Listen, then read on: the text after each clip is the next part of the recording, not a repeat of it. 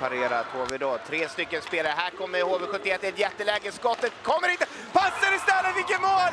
Vi har tvåan! Vi har tvåan! Keikö med den där fenomenalt fina styrningen i mål när HV71 alltså drygar ut